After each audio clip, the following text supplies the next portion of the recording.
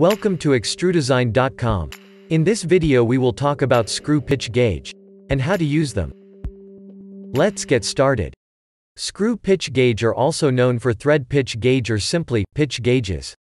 See the pitch gauge picture as shown on the right side. The pitch gauge is designed to check the pitch of the thread by matching the strips with the teeth of any workpiece. By the way, this is not a precision measuring instrument, rather it allows the user to quickly determine the pitch value of the given thread.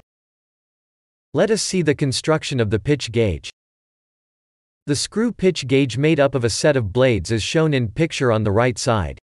There will be two sets of blades on each side.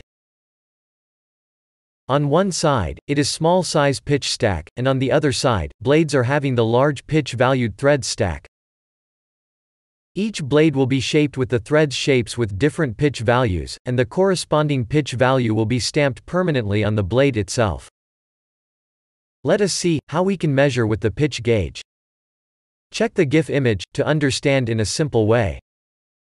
To check the pitch value of any thread, we need to roughly pick the nearest pitch gauge blade from the stack and place the blade as shown above GIF. Now the pitch gauge thread and the workpiece threads should match exactly as shown above. To make sure the threads have contacted correctly, we need to maintain a light on the other side. So that the light can pass through the gap if there is existed.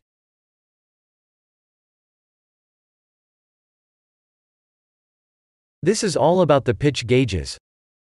Thanks for watching, see you in the next video. Please subscribe to our channel, and press the bell icon to get notified.